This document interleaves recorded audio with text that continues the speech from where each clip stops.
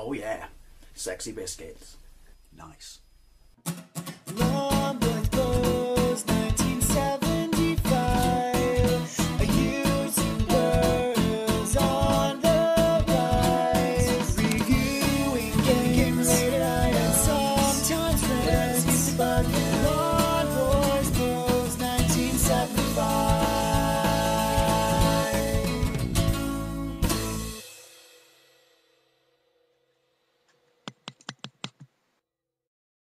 This is NHL 97, released in 1996 by EA on the Sega Mega Drive and or Genesis. Now, this is gameplay with a difference because I'm going to try and play it when I talk and explain something that's very dear and I hold close to my heart, which means I'm going to suck at this even more than I normally suck. I got challenged by someone in my comment section a couple of weeks ago about why I always have a Montreal Canadian jersey or why I love the Habs or why I speak so highly of them.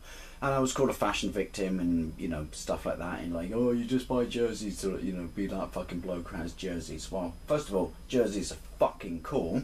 Um, second of all, I'm not that bloke. There is a reason um, I have a love for the Montreal Canadiens, but you never stop to ask did you? So it's going to be me playing this game because I thought it'd be good background because it's hockey. Love hockey.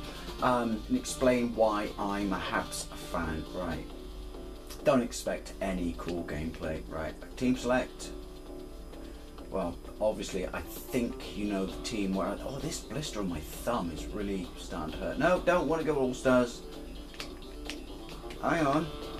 Eastern, Western. Uh, am I just picking fucking leagues? No. Thank you. There we go. Right. No, oh, sorry. Hello, Montreal. Right, let's get into this. Uh, so, Montreal, Florida. Right. The reason I support the Habs is quite simple. I took a massive life um, kind of change, lifestyle change choice in um, 2003, I believe. Sorry, um, when I was offered the chance to go move to Montreal and um, uh, you know be seconded to my company. I have no idea what the controls are. Hang on. Right. Oh. Shit. Yeah, I had a chance to. No, you don't. No, you don't. No, you don't. What's pass? No, that's shoot. B shoot. Right. That's good. We like that. We like that. We know what we're doing. Yeah, I had a chance to be seconded to my, my um, you know, the the Canadian half of my couple A's pass. Oh fuck! I'm the keeper. Why am I doing shit like that? Oh bollocks! And so I took it. I knew nothing about it. You know, I, I I've been on vacation to Toronto a few times, and I absolutely adored Canada. You know, well, based on Toronto, I thought it was a wonderful, wonderful country. Right, that's pass. I think. No, that is no, that's fucking flip. And so yeah, so I took the chance and I, I took this great leap into the unknown. Oh no, you don't. And uh, yeah, gave everything up, sold all my shit off. No, you don't, you fucking wanker. Boom! Oh, look at that! Fucking Gary Lineker right there. Um, yeah, gave all my shit. This is such a bad choice again to try and talk about these experiences with. But yeah, gave all my shit up, sold it away, um, packed a bag. Um, the song "All That You Can't Leave Behind" by U2 always reminds me of this moment, and um, yeah, moved. And I loved it. I embraced it. It was wonderful. But I knew of hockey, and I like hockey because we actually have a team in Bristol. I'm just going to slap shot from far away, and yeah, it, it, you know, it, but it wasn't a sport. No, you don't, you knob jockey. Thank you. Fuck off. Oh no, no, no, wanker! Oh, you fucking prick. Again, wrong game to talk and play over the top of.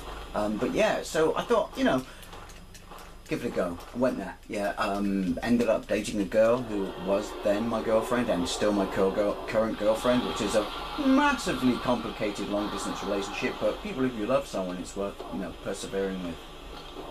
Oh, block my past knob jockey. Oh no, no, no, no. And um, yeah, she got me into hockey. And my first apartment was just um, over the block from. Oh, you fucking wanker! Why'd you have to save it? From Atwater. Um, sorry, no, it wasn't Atwater. It's just over the block from um, the the AMC Forum, which is the original home of the Habs until it got moved to the Bell Centre. Now it's a cinema and like an amusement arcade and stuff. But if you go into it, there's like a little set of stairs that go up to like a platform, and there's fiberglass people sat dressed in Habs uniforms. That song sounds familiar. Um, sat on some of the original seats that were still there. Anyway, I didn't know anything about it, but when I started dating this girl, she was a massive, massive hockey fan. I got her into football. I'm not saying soccer, and she got me into hockey. And we got some like corporate tickets and stuff. And my company gave me a few tickets as well. They were corporate tickets as well. And so we went together to watch the. Um, how do I start? Watch the uh, the Montreal Canadiens play. Now, obviously, as an Englishman, I'm probably going to butcher this, but they are pretty much the most successful hockey team in North America, and one of the old. Someone twat this bloke. One of the um, the oldest. Uh, I think I could be wrong, but I want to say they have the most. No, you don't, you dickhead. Um, Stanley Cups. They, they, you know, they do. And outside the AMC Forum, there's a whole bunch of like, you know, brass plates on the floor that um, celebrate or commemorate every commemorate um, Stanley Cup that they won. I really should have picked. I should have picked Operation Wolf to talk over this. Pass the ball. Pass the ball, you prick. It's a puck. But yeah, so we went to a bunch of games and I absolutely fell in love with hockey. I thought it was just one of the greatest, most sort of spectator involving sports ever. You know, in, in all three of the breaks, people would come out on the ice. They, well, first of all, they would polish it for the next um. There we go. No, no, you don't. Boom. Oh, you blocked it, you wanker.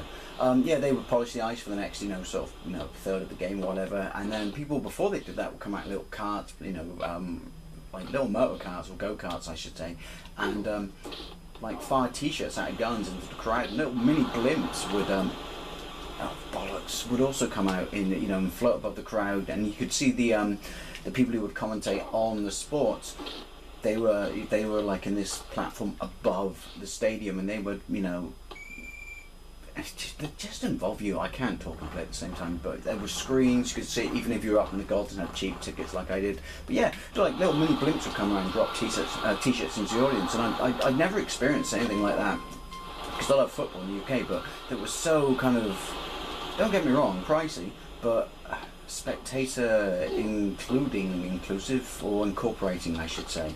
But yeah, and that's the reason I love the Habs because I think in my entire time in Canada, I must have seen them about 32 times. Don't you fucking score, you wanker. Um, I survived the blo- the blockout, the the original lockout, and I was really annoyed. It was the first year I was there, and then you know it ended, and I was just kind of like, yes, hockey's back, and so I fell in love with the Habs. It's quite simply, you know, that obvious and simple that you know you you, you, try and involve yourself or you know include yourself in the culture that is around you. Um, not because you have to but you should do. And um, yeah I just oh yeah how'd you like them apples? Knocked you down you prick. Oh we're gonna fight? No we're not. And yeah the Habs the Bell Centre going for Saint Hubert uh, Hubert sorry chicken oh, I always went for ribs they had fucking amazing ribs before the game it was just one of those moments that just just made the sport that much special. And so when people see me wearing my Habs jersey and laugh at me and poke fun at me and say like, "Oh, you're fucking so like you want to be popular," no, I'm not. Um, I lived in Canada for four years. Uh, I lived in Montreal. Uh, initially, my first apartment was over the road from the MC, which is obviously the original home of the Habs. And later on, when I lived more downtown, I could basically walk to the Bell Centre. I saw a great many games. I saw many games in pubs from colleagues, friends from work, and my girlfriend. And yeah, it, it- hockey was like a disease. It infected me, and it's why I support the Habs, and I still do. And I love this sport. It's just a shame it's so fucking balls bollockly hard to find a cable package in this company company country where you can watch it. But yeah, so for all those people out there who say like, "Oh, you're just wearing shirts to show off," no, I'm not. The, I wear a Habs shirt because I love the Habs. All right. Anyway, thank you very much for watching, and I'll see you later.